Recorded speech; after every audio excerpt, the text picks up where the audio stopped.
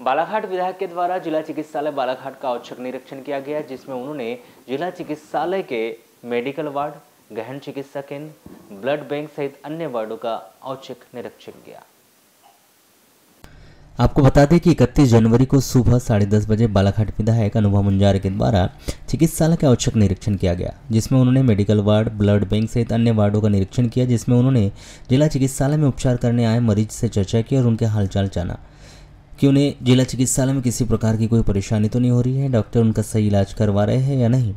इस विषय को लेकर उन्होंने मरीज़ और उनके परिजनों से पूछताछ भी की। उसके बाद वह गहन चिकित्सा केंद्र में पहुँची। वहाँ की भी स्थिति उन्होंने उन्हें जायजा लिया और उन्हें डायलिसिस मशीन की बंद होने की जानकारी मिली, जिस पर उन्होंने उपस्थित सिविल सर्जन से चर्चा की और बंद पड़ी मशीनों को जल्द से जल्द सुधरवाए जाने के लिए उन्हें निर्देशित मीडिया से चर्चा करते हुए उन्होंने बताया कि आए दिन जिला चिकित्सालय को लेकर शिकायत मिल रही थी और उन्हें सब शिकायतों को देखने के लिए जिला चिकित्सालय बालाघाट पहुँची है। यहाँ पर उन्होंने स्थिति तो ठीक पाई, किंतु डायलिसिस मशीन को सुधारने और उनके द्वारा निर्देश दिए गए वहीं उन्होंने यह भी बताया कि प्रसव के नाम पर जो जिला चिकित्सालय में पैसे का लेन देन चल रहा है, उसकी भी उन्हें जानकारी है। और जब विधायक नहीं बनी थी, तब भी इसका निरीक्षण करने भी वह जिला चिकित्सालय पहुँची थी और उन्हें मरीज़ के परिजनों के द्वारा जानकारी भी दी गई थी कि प्रसव के नाम पर जिला चिकित्सालय में पैसा लिया जाता है।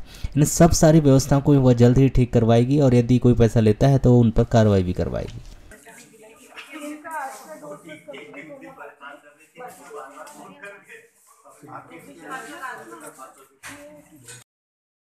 खराब है सुधरी नहीं एक बार सुधरी फिर फिर गड़बड़ होगी। अच्छा वो इन्फेक्टेड वाली मशीन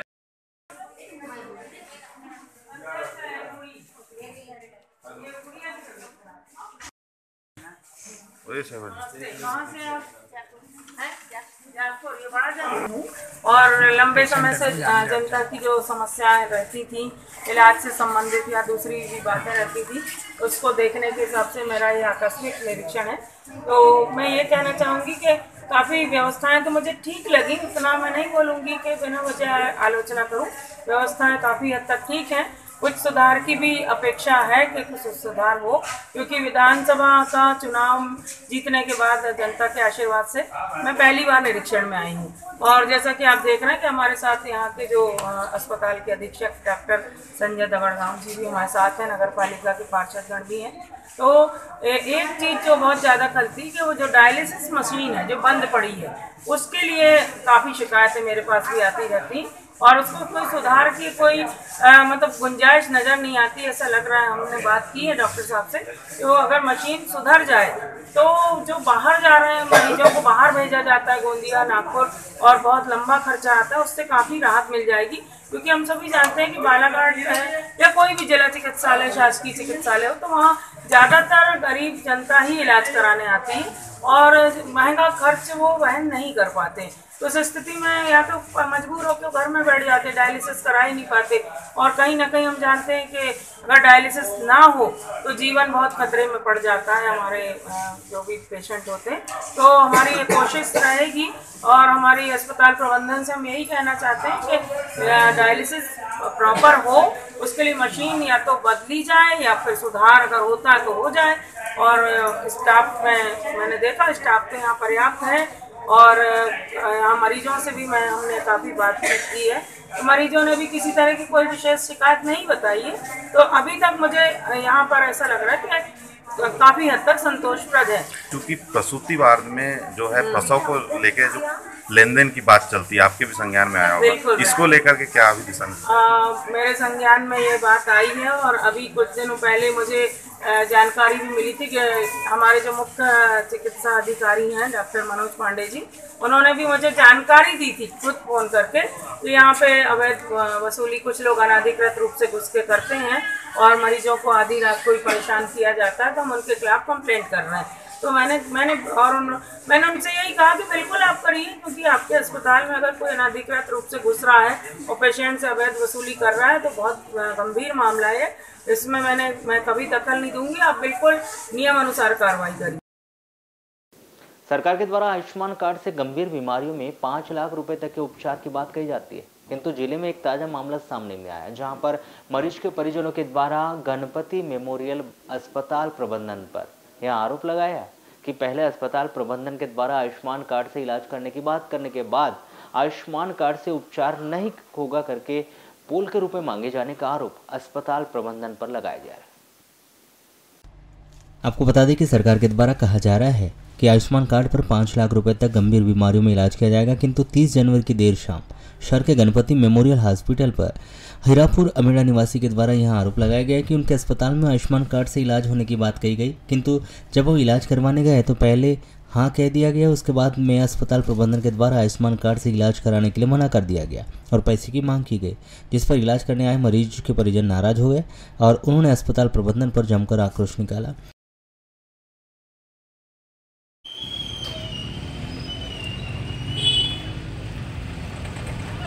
ये मानसी हमारे ना दिल्ली से भी आए थे तो उनका भी ऐसे ही किए थे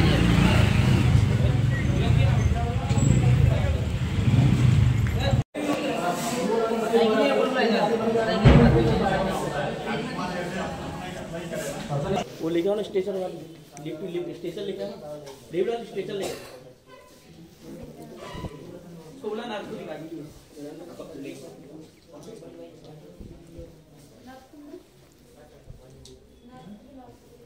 सर, मेरा नाम हिम्मत लाल बसेन। है मेरे चाचा का नाम श्रीचंद बसेन। है सुबह हमारे चाचा का एक्सीडेंट हुआ। हमने गणपति मेमोरियल हॉस्पिटल लेके आए। आयुष्मान कार्ड के साथ समग्र आईडी के हमें सुबह से शाम तक हमें भ्रमित किया गया कि आपका इलाज समग्र आईडी और आयुष्मान कार्ड में हो जाएगा।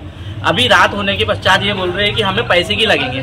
हमें पंचानवे हज़ार रुपए का बिल बता रहे हैं और हमारे यहाँ आयुष्मान कार्ड नहीं चलता। और आयुष्मान कार्ड का बोर्ड लगा के यहाँ खड़े हुए सुबह से लेकर शाम हो चुकी है। ना हमारा इलाज हो रहा है ना कुछ हो रहा है। यहाँ गरीबों का इलाज नहीं होता सर पैसे वालों का इलाज होता है। डॉक्टर से बात हुई डॉक्टर ने क्या बोला? डॉक्टर ने बोला सुबह शाम को सुबह से शाम तक हमें भ्रमित किया गया है कि आयुष्मान कार्ड से हमारे आपके चाचा का क्या बोलते हैं ऑपरेशन शाम को हो जाएगा। और शाम को हमें ये बताया गया कि आयुष्मान कार्ड में हमें पंद्रह पंद्रह दिन लगते हैं। हमारे यहाँ कभी पंद्रह दिन अप्रूवल आता है कभी पंद्रह दिन अप्रूवल उन्हें पंद्रह पंद्रह दिन अप्रूवल लेने में लग जा रहा है। स्टाफ बोल रहा है पैसे की बात अभी मरीजों को निकाल लिया यहाँ से। हाँ सर हम अपने मरीज़ को यहाँ से हमें खतरा महसूस हो रहा है हमारे मरीज़ को यहाँ पे।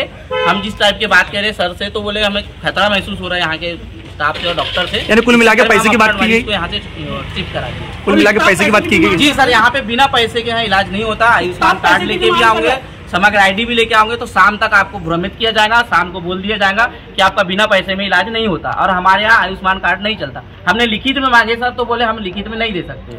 वो जो मरीज़ मरीज़ थे वो कौन लगते हैं आपके? मरीज़ मेरे चाचा है सगे चाचा पापा के छोटे भाई। क्या नाम है उनका? श्रीचंद बसेन। जब हमारे द्वारा इस पूरे विषय को लेकर गणपति मेमोरियल अस्पताल प्रबंधन के डॉक्टर अविनाश सहारे से दुर्भाष पर चर्चा की गई तो उनके द्वारा बताया गया कि जो आरोप उनके अस्पताल पर लगाए गए हैं वह निराधार है। उन्होंने स्वयं ही इस केस को लेकर मरीज़ के परिजनों से चर्चा की थी, किंतु मरीज़ के परिजन उनकी सुनने को तैयार ही नहीं थे। उनके अस्पताल में आयुष्मान कार्ड से संबंधित गंभीर बीमारी से उपचार होते हैं, किंतु सबसे पहले वह स्वयं ही सॉफ्टवेयर के माध्यम से अप्रूवल लेते हैं, और उन्होंने पर्सनली मरीज़ के परिजनों से भी बात की थी, किंतु उन्होंने अस्पताल प्रबंधन की एक भी बात नहीं सुनी और अपने मरीज़ को लेकर दूसरे अस्पताल चले गए। अब वो जो आरोप लगा रहे हैं, वह सब निराधार है। माँ सरस्वती शिशु मंदिर नांदी प्राइवेट संस्था में प्रतिवर्ष के अनुसार इस वर्ष भी वार्षिक उत्सव शहीद दिवस के रूप में मनाया गया। यह वार्षिक उत्सव नंदी के हनुमान चौक में मनाया गया, जिसमें सर्वप्रथम मुख्य अतिथियों ने महापुरुषों की प्रतिमाओं पर माल्यार्पण किया। वहीं शहीदों की कुर्बानी को याद करते हुए शहीदों को नमन भी किया गया। इस दौरान स्कूली बच्चों ने सांस्कृतिक कार्यक्रमों की प्रस्तुति भी दी और इस कार्यक्रम में श्री राम माता सीता लक्ष्मण की झांकियाँ आकर्षण का केंद्र रही।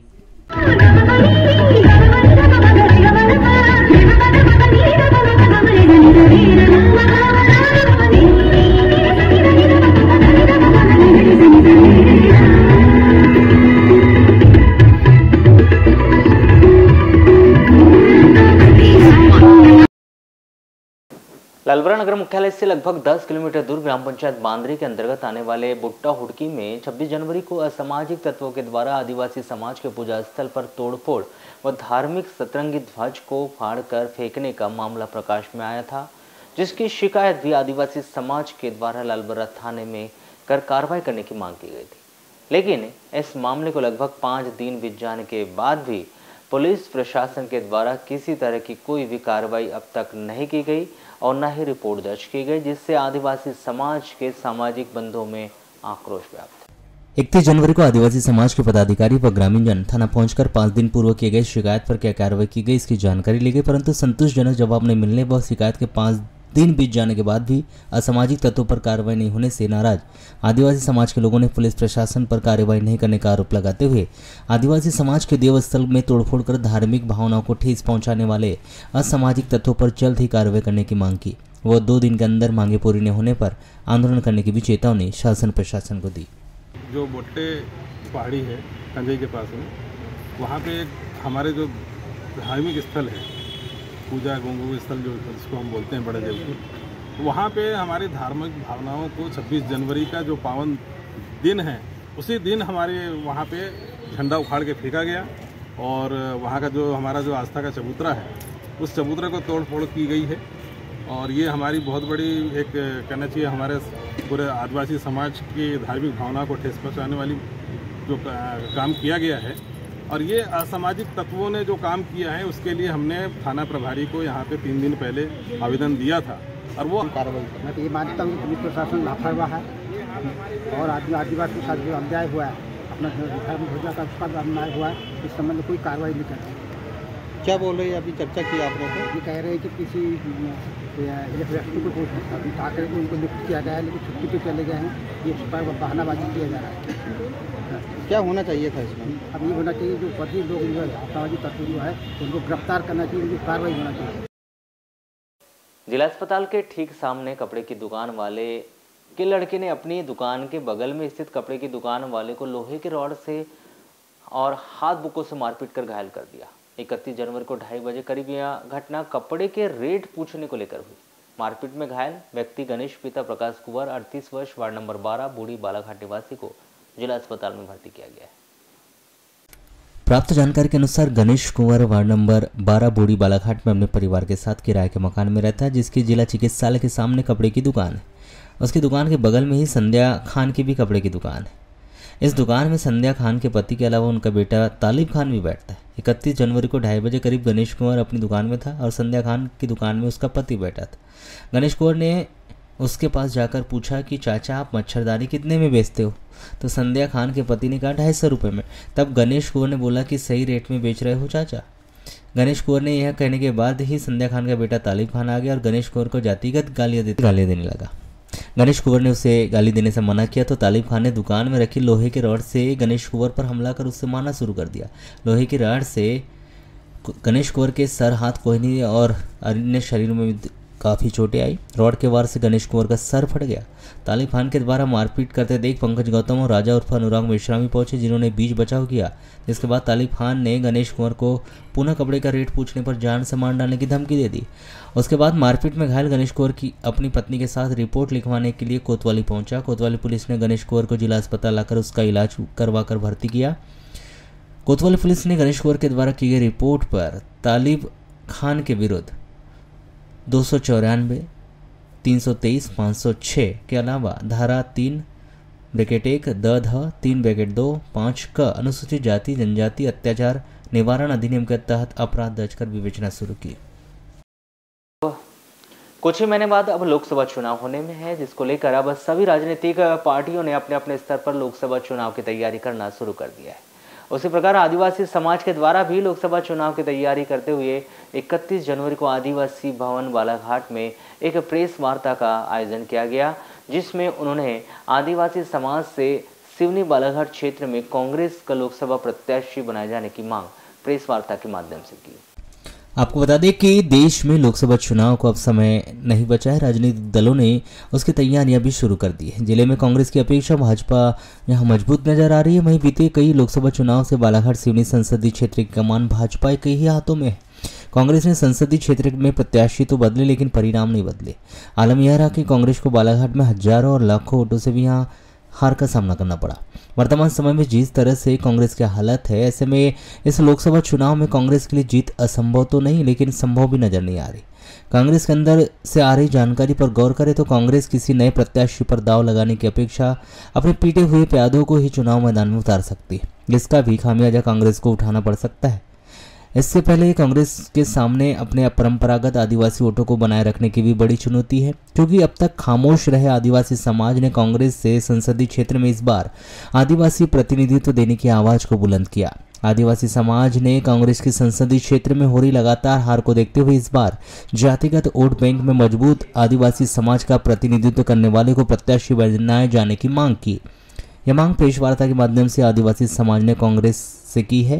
वीरांगना, रानी दुर्गावती भवन में आयोजित प्रेस वार्ता में आदिवासी विकास परिषद के जिला अध्यक्ष दिनेश धुर्वे ने कहा कि देश की आज़ादी के छिहत्तर वर्ष बाद भी संसदीय क्षेत्र में आदिवासी को लोकसभा में प्रतिनिधित्व करने का अवसर कांग्रेस ने कभी नहीं दिया। सब राज हमारा, मगर हमारे पास कुछ भी नहीं है। इसी प्रकार से हमारा कहना है कि लालपुरा क्षेत्र में एक बोटा गाँव है, वहाँ आदिवासी का एक झंडे लगे हुए थे। बहुत सास के रिकॉर्ड में, सास के रिकॉर्ड में दर्शाया गया था आदिवासी, का वहाँ जो है एक चबूतरा है, और वो झंडे लगे हैं। उस पर कुछ दिन पहले उखाड़ के फेंक दिया गया है। हमारे आदिवासी धर्म के साथ भी इस प्रकार से खिलवाड़ किया जाता है। तो आप मीडिया से हम कहना चाहते हैं हम कहाँ जाएँ? यहाँ के मूल निवासी हैं। समझे? हमको कहे मूल निवासी, फिर बनाए आदिवासी, फिर कहेंगे हमको बाहरवासी तो फिर हम क्या करेंगे? इसलिए हमारा कहना है कि हमारा नेतृत्व करने वाला हमारा नेतृत्व करने वाला अगर आज अगर कोई संसद होता तो एक बात उठाता कि आज गलत हो रहा है। कोई आज यहाँ का एक विधायक मैं किसी, जो भी पार्टी का किसी ने भी अभी तक एक आवाज़ नहीं उठाया कि लालपरा के क्षेत्र में जो गड़बड़ हो रहा है, वहाँ जाके देखा जाए, वोट मांगने के घर पर आता है। तो मेरा कहना ये जो गोंड गुवारा ये विधवा जितने भी लोग हैं, सारी ये वोट देने के लिए पैदा हुए हैं। इनका फिर पूरे इसलिए हमारा कहना है कि, हमारा ये कहना अगर हमारे आदिवासी भाई को अगर यहाँ की संसद सीट नहीं मिली तो भैया ये तो कांग्रेस वाले हैं, पर हम विरोध ज़रूर करेंगे क्योंकि हम धर्म प्रचार वाले हैं, आदिवासी धर्म प्रचार का हम फुल विरोध करेंगे हमने अपनी बात अभी हमारे पूर्व वक्ताओं के द्वारा आपको हमारे विधायक महोदय जी, पूर्व विधायक महोदय बरघाट और हमारे अध्यक्ष दिनेश दुर्वे जी, और ग्वारे समाज के अध्यक्ष और हमारी जितनी भी महिलाएँ बैठी हैं, यानी सभी के डिमांड है, और भी लोग हैं सब चाहते हैं कि जब हमारा इतना बालाघाट आदिवासी बाहुल्य क्षेत्र है और 2011 की जनगणना के अनुसार साढ़े छः लाख यहाँ पर वोटर्स हैं और अभी शायद बढ़ गए होंगे तो उस हिसाब से हमारे आदिवासी समाज को यहाँ पर कांग्रेस से टिकट मिलनी चाहिए। लोकसभा का चुनाव होने वाला है। और इस समय देश का वातावरण देख रहे बड़ी विषम परिस्थितियाँ हैं, खासतौर से कांग्रेस के लिए। और कांग्रेस से जब से ये देश बना है आज़ादी के बाद से खासतौर से जब ये चुनाव हो रहे हैं, गणतंत्र बना संविधान लागू हुआ है तो कांग्रेस पार्टी से जुड़ा हुआ है आदिवासी समाज। और आज पूरी तरीके से हमारा जो भी परसेंटेज है, उसमें सत्तर, पिछहत्तर परसेंट वोट कांग्रेस पार्टी करती है, का आदिवासी समाज करता है। अब ये चुनाव जो लोकसभा का यहाँ पे आ रहा है तो काफ़ी सालों से हमारी बालाघाट और सिवनी, ये सीट कांग्रेस से दूर है, भारतीय जनता पार्टी के पास। तो यहाँ बातचीत चली समाज के लोगों, जो कांग्रेस पार्टी से जुड़े हैं, जो कांग्रेस पार्टी को मजबूती प्रदान करते हैं। ये जैसे बताएगा ना, तमाम ये पूरे हमारे प्रतिनिधि हैं कुछ जनपद सदस्य हैं, जिला पंचायत सदस्य हैं, जिला पंच सरपंच हैं, और जनपद के अध्यक्ष हैं। तमाम पूरे के पूरे ये प्रतिनिधि हमारे पास बैठे हुए तो आज जिन लोगों ने मुझे खबर की कि भैया, आज बालाघाट आपको आना है, समाज के लोग बैठेंगे, कुछ चर्चाएँ करेंगे। अपनी लंबित मांगों को लेकर अनिश्चितकालीन हड़ताल कर रहे दिव्यांगों के द्वारा अब अन्न जल का त्याग कर दिया गया है, जिसमें उनका कहना है कि जब तक शासन प्रशासन के द्वारा उनकी लंबित मांगों पर ध्यान नहीं दिया जाएगा, तब तक वह अन्न जल ग्रहण नहीं करेंगे। आपको बता दें कि अपनी लंबित मांगों को लेकर अनिश्चितकालीन हड़ताल पर बैठे दिव्यांगों के द्वारा अब अन्न जल का भी त्याग कर दिया गया है और उनका कहना है कि जब तक शासन प्रशासन उनकी मांगों को पूरा नहीं करेगा, वह इसी प्रकार अन्न जल का त्याग किए ही अनिश्चितकालीन हड़ताल करते रहेंगे। वही इकतीस जनवरी को तीन दिव्यांगों के द्वारा अन्न जल का त्याग कर अनिश्चितकालीन हड़ताल की जा रही है, जिसमें दिव्यांग संघ के जिलाध्यक्ष अमन नामदेव के द्वारा बताया गया कि विगत चार दिनों से नगर पालिका के अंबेडकर गार्डन में अपनी लंबित मांगों को लेकर भी अनिश्चितकालीन हड़ताल कर रहे हैं। किंतु शासन के द्वारा उनकी छोटी छोटी मांगों पर भी ध्यान न देकर उनकी समस्या का समाधान नहीं किया जा रहा है। जिस कारण वहाँ अब अपने दो अन्य साथियों के साथ अन्न जल का त्याग कर अनिश्चितकालीन हड़ताल पर रहे। सर, हमारे जैसे विकलांग गए इसलिए मजबूरी में हम लोगों को अन्न जल त्याग के बैठना पड़ रहा है। कि हम विकलांग आप नहीं आ पाए हमारी परेशानी को समझ। चार दिन हो गया आज हमको धरने में चौथा दिन तो आज आपके यहाँ से किसी ने कहा अन्न जल का भी त्याग किया है हाँ मैं हूँ। मेरे साथी प्रतीक चौहान और एक साथी विक्रम राज सांडिली हम तीन लोगों ने अपने विकलांग भाइयों के लिए आज अन्न जल त्यागे हुए कब तक के रहे? यह अनिश्चितकालीन है जब तक प्रशासन हमारी बातों को मान नहीं लेता इसी महीने प्रदेश में बस चालकों के साथ दो बड़ी घटना देखने और सुनने को मिली, जहाँ हिट एंड रन कानून को लेकर बस चालकों के हड़ताल के दौरान शाजापुर कलेक्टर किशोर सान्याल के चालक को अवकाश दिखाने के मामले में सरकार ने उन्हें हटा दिया था। वहीं 31 जनवरी को बालाघाट में बटालियन कमांडर अनिल शर्मा ने रॉन्ग साइड से आते हुए गाड़ी में लगी टक्कर पर बस चालक की सार्वजनिक तौर से पिटाई कर दी। हालाँकि उन्हें अंदेशा नहीं था कि पुलिस के रौब में पिटाई के बाद वाहन चालक ऐसा कुछ कर पाएँगे कि उन्हें हाथ जोड़कर मुझे माफ़ कर दो, शब्दों के साथ माफ़ी भी मांगनी पड़ेगी। बस स्टैंड में एक निजी ट्रेवल्स के बस चालक की बुधवार की प्रातः बस स्टैंड में छिंदवाड़ा में तैनात आठवीं बटालियन के कंपनी कमांडेंट अनिल शर्मा के द्वारा सार्वजनिक पिटाई के बाद बस चालकों का गुस्सा भड़क के उठा और उन्होंने बसों के पहिए को जाम कर दिया। जिससे पूरे बस से अपनी अपनी जगह पर खड़ी हो गई। घटना के बाद बस स्टैंड में एकत्रित हुए बस चालक, परिचालक और एजेंटों ने वाहन चालक और परिचालक संघ के अध्यक्ष सहारे के नेतृत्व में रैली निकालकर पुलिसकर्मी पर कार्यवाही की मांग करते हुए थाने पहुँचे। का क्रम था। सुबह यानी नौ बज रहा था। मेरे को गाड़ी बस स्टैंड पे लगाना था। तो मेरा स्टाफ इधर उधर गया हुआ था। एक स्टाफ आने को टाइम था। तो मेरे को गाड़ी राइट पे लेना था तो गाड़ियाँ खड़ी हुई थी। तो मैंने सोचा कि जयस्तंभ से कालीकुत्ती चौक में रोड चौड़ा रहता है। वहाँ से गाड़ी बैक कर लिया जाए। तो मैंने गाड़ी वहाँ बैक करने के लिए लगाया। गाड़ी मेरी अपने साइड पर बराबर ये लगा लिया था मैंने। मैं जैसी राइट साइड में निकालना था दो तीन गाड़ियाँ उनको पास किया मैंने गाड़ी को। सामने से जो पुलिस लिखी हुई छोटी फोर व्हील गाड़ी आ रही उसको भी मैंने जाने दिया। साइड में बच्चे लोग खड़े हुए थे स्कूल जाने वाले। तो महोदय जी ने क्या किए? लेफ़्ट साइड से रॉन्ग साइड से गाड़ी को डाल दिए। फिर मैंने जितना देखा, उतना देख पाया। इसके बाद क्योंकि मेरे को बस स्टैंड में गाड़ी लगाने समय हो रहा था तो राइट साइड में, मेरी साइड में तो मैंने बराबर देखा। वो रॉन्ग साइड में खड़ी हुई थी, मेरी गलती तो है नहीं उसमें। तो मैंने अपनी गाड़ी काटा तो मेरी गाड़ी का पुट्ठा उनको लग गया। लगा तो मैंने, मेरे को मालूम नहीं चला। मैंने अपनी गाड़ी को अपनी साइड से लेके बस स्टैंड की ओर चला। जैसे ही सामने से गाड़ी आ रही थी, फिर मैंने गाड़ी को दबाया, उसको पास किया। तो ये महोदय जी मेरे पास आके बोलते हैं कि आपने मेरी गाड़ी ठोक दिया। मेरे को तो कुछ मालूम ही नहीं था कि मेरे हाथ से कैसे ठोका तो उनसे मैंने पूछा, सर, कैसे गाड़ी ठोकी? उनसे बिल्कुल तभी से ही पेश आया मैंने। तो इसके बाद बोलते नहीं, आपने गाड़ी ठोक दी, आप नीचे उतर तो सर, दो मिनट गाड़ी बंद कर लेता हूँ। मैंने गाड़ी को जैसे ही बंद किया और गेट खोला तो ये गेट खोलने का बोले बोलते हैं, मैं टी आई हूँ। बोला, सर टी आई हूँ, जो भी मैं दो मिनट उतर जाता हूँ। जैसे ही गेट खोला, इन्होंने मेरे को मारना चालू किया। सामने गेट से लेके मारते मारते अपनी गाड़ी तक लेके आए फिर भी मैंने इनके साथ में बदतमीजी नहीं किया। ना उत्पणांग अब सब लोगों का कुछ किया। तो जैसे ही इन्होंने आया, इसके बाद बोलते ये देख, बोले, मेरे को गाली गलोच किया इसके बाद बोले, तूने गाड़ी ठोका। सर, मैं बोला, मेरी गाली गाड़ी गलती तो है ही नहीं है।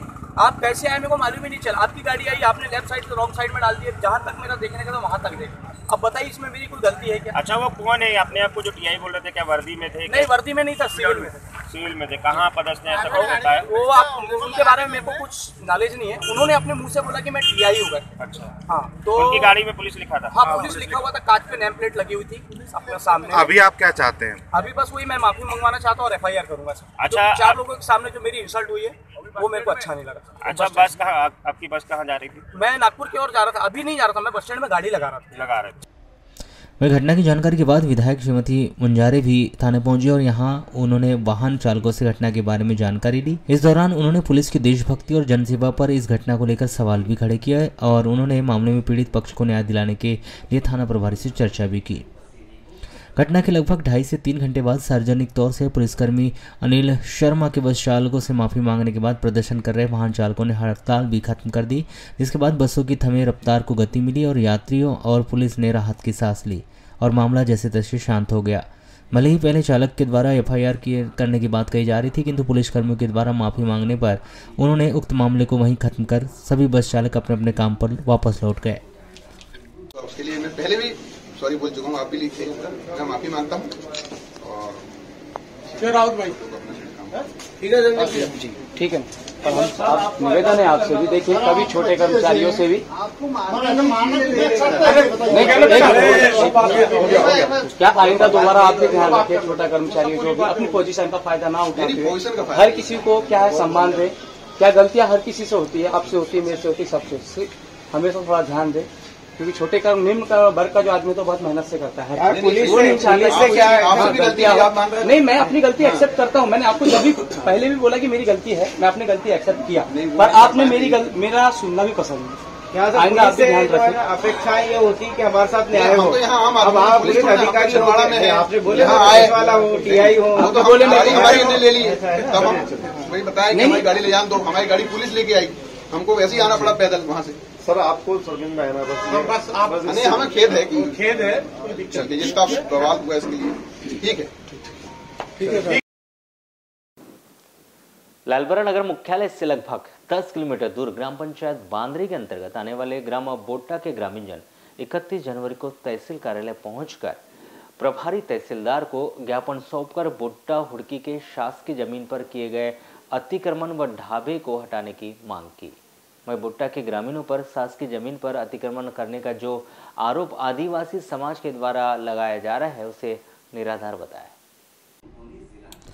आपको बता दें कि ग्राम पंचायत बांद्रे के अंतर्गत आने वाले बोट्टा के हुड़की हाईवे मार्ग पर पंचायत की शासकीय ज़मीन है, जिस पर दिलीप उइके के द्वारा अवैध रूप से अतिक्रमण कर ढाबा का संचालन किया जा रहा है, जिसे हटाने की मांग ग्रामीणों ने की ताकि शासकीय ज़मीन सुरक्षित बच सके। वहीं बोट्टा के ग्रामीणों का कहना है कि दिलीप उइके के द्वारा गत दिवस बोट्टा के ग्रामीणों पर अतिक्रमण करने का आरोप लगाते हुए थाने में झूठी शिकायत की गई, जिससे ग्रामीण जनों में आक्रोश व्याप्त है।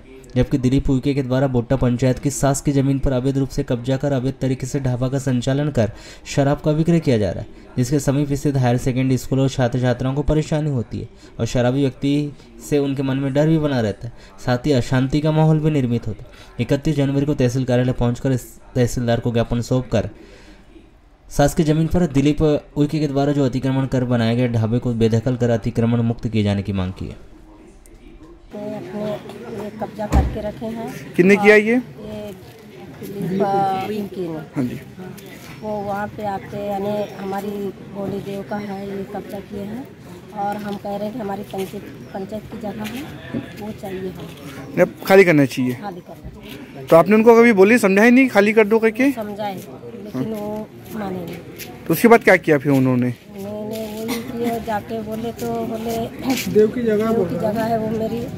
मैं ये कर रहा केस कर। झूठे एफ़ आई आर कर दिया। झूठी कितने लोगों के नाम पे एफ़ किया उनने? नौ लोगों। के नाम से तो अभी क्या मांग चाहते हैं? अब क्या होना चाहिए? हमको अतिक्रमण हटना चाहिए। हमारी ज़मीन हमको होना चाहिए। फिर आप लोग। हम लोग एकत्र इसलिए हुए कि हमारे यहाँ के जो अवैध जो आवास की जो भूमि है उस भूमि पे एक व्यक्ति दिलीप दिलीप उइके ने अवैध रूप से डेढ़ एकड़ भूमि को कब्जा करके रखा है। और डेढ़ एकड़ भूमि पे उन्होंने कुत्ता पालन बकरी पालन प्लस जिस जगह पे उन्होंने कब्जा किया वहाँ पे ढाबा बनाया। ढाबा में अनिवार्य रूप से शराब की धंधा करता है शराब बेचता है। और वहाँ से लगभग लगभग डेढ़ सौ मीटर पे एक हाई स्कूल भी पड़ती है। आने जाने वाले बच्चों को काफ़ी परेशानी होती है वहाँ पर क्योंकि ना प्रकार अन्य प्रकार के लोग रहते दारू पी कर और वहाँ भूमि से हम उसको हमें उसको हटाना है किसी इससे तो आपने समझाइश नहीं दी गई इसके पहले उनको? इसके पहले समझाइश दी गई। हम लोग सब लोग ग्राम पंचायत की हमारी ग्राम बाड़ी पूरी गई थी। बस अब उन्होंने कहा कि आपसे जो बनता है कर लीजिए। फिर उसके बाद? उसके बाद अभी कार्रवाई चालू है। ये जो जाली वाली हटाई गई बढ़ा जाली भरे वाली हटाई गई वो बिल्कुल वो वो अवैध कब्जा करके रखे थे लोगों ने तो- देव के नाम से अवैध कब्जा किया हाँ उन्होंने बड़ा देव के नाम से अवैध कब्जा करके रखे थे बसर तो बड़ा देव का कोई इशू नहीं क्योंकि आवास की जो भूमि होती है वो जनताओं को देने के लिए होती है मतलब गाँव की ग्रामीण की जनताओं के लिए ना कि वो किसी देव पूजा के लिए होती है। देव की जगह होती है जो अलग होती है। मलाजखंड थाना के अंतर्गत मोहगांव से रहेगी रोड पर स्थित पंड्या टोला के पास स्कॉर्पियो ने मोटरसाइकिल को ठोस मार दी। इस सड़क दुर्घटना में स्कॉर्पियो की ठोकर से मोटरसाइकिल में सवार एक व्यक्ति गुलाब सिंह मेरावी रहेंगी छिंदी टोला और उसकी बेटी कुमारी रश्मि पर मेरावी भी घायल हो गई। प्राप्त जानकारी के अनुसार गुलाब सिंह मरावी अपने परिवार के साथ खेती किसानी करते हैं। बेटी रेशमी बालाघाट में रहकर पढ़ाई करती, वर्तमान में छुट्टी होने पर अपने घर छिंदी टोला आ गई थी। तीस जनवरी को 12 बजे करीब गुलाब सिंह मरावी अपनी बेटी को बालाघाट जाने के लिए अपने गाँव छिंदी टोला से मोटरसाइकिल से मोहगांव बस स्टैंड छोड़ने के लिए आ रहा था। तभी ग्राम रेंगी और पंड्या टोला के बीच मोहगांव की ओर से तेज रफ्तार से आ रही स्कॉर्पियो ने मोटरसाइकिल को ठोस मार दी। स्कॉर्पियो की ठोकर से गुलाब सिंह मरावी और उसकी बेटी रश्मि दोनों ही घायल हो गए। दोनों घायलों को तुरंत ही बिरसा के अस्पताल में भर्ती कराया गया था, जहाँ से प्राथमिक उपचार के बाद दोनों पिता पुत्री को जिला अस्पताल बालाघाट रेफर किया गया था। किंतु जिला अस्पताल बालाघाट से दोनों को प्राइवेट अस्पताल में भर्ती किया गया है।